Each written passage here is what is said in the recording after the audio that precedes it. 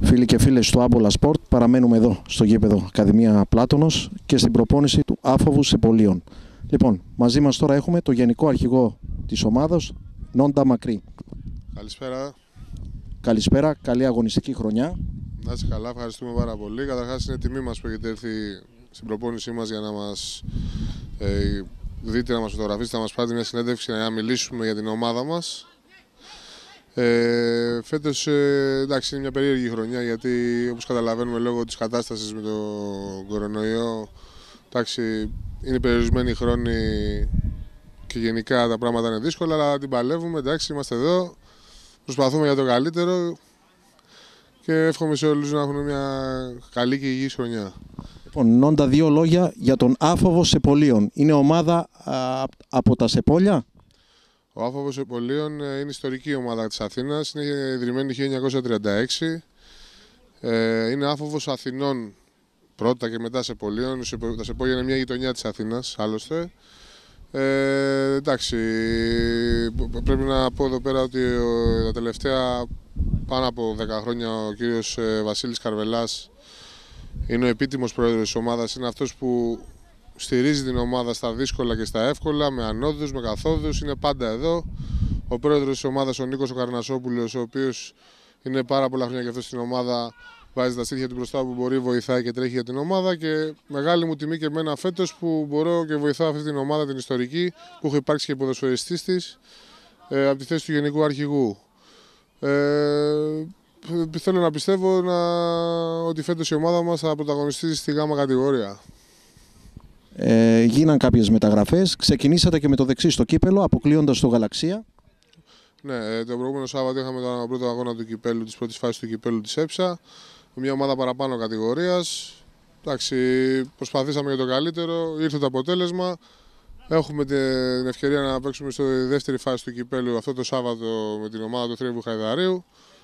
Εντάξει, θα είναι ένα δύσκολο μάτς γιατί γνωρίζω την ομάδα του Θρύβου είναι και καλή ομάδα και οργανωμένη και έχει πέσει από αλφα κατηγορία. Αυτό σημαίνει ότι είναι πολύ δυνατή. Παρ' όλα αυτά μπορώ, μπορώ να πω ότι εμείς ευελπιστούμε για το καλύτερο και θέλουμε την πρόκριση. Ποια είναι τα προβλήματα που υπάρχουν στο τεχνικό ποδόσφαιρο; Να ξεκινήσουμε. Γηπαιδικό. Το γήπεδο, αυτό που είστε εσείς.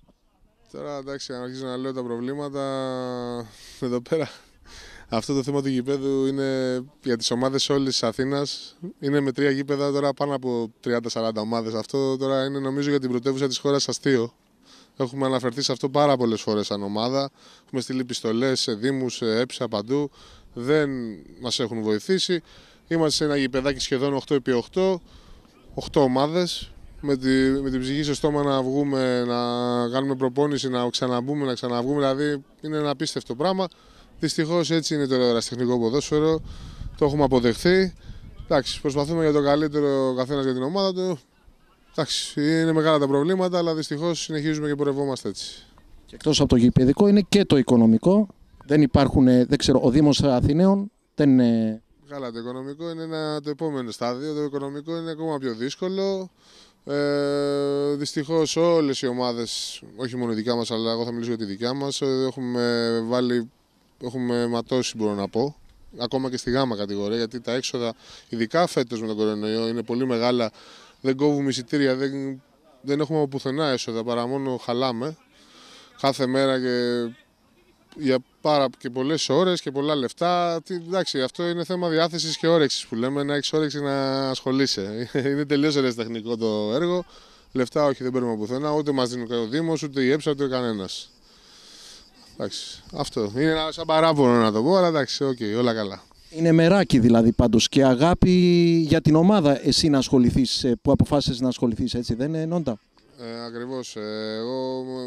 Και οποιοδήποτε νέος που θέλει να ασχοληθεί, παράγοντας που θέλει να ασχοληθεί με το αεροσιτεχνικό ποδόσφαιρο. Ακριβώς, ακριβώς. Έτσι όπως τα λες είναι. Ε, είναι ότι πρέπει να έχεις διάθεση, όρεξη, μεράκι, να πεις ότι αυτό το κάνω γιατί το γουστάρω, να το πω έτσι λαϊκά. Να γίνεις από ποδοσφαιριστή, ας πούμε, ε, διοίκησης σε μια ομάδα και σε μια ομάδα που αγαπάς πάνω απ' όλα, γιατί δεν μπορείς να πας να ξεκινήσεις από μια ομάδα που δεν σε ξέρουν και δεν τους ξέρεις. Εντάξει, με επιλέξανε εδώ, προσπαθούμε για το καλύτερο. Μαθαίνεις μέσα από αυτό, είναι εμπειρία. Εντάξει, όρεξη να έχεις, να ασχολείσαι.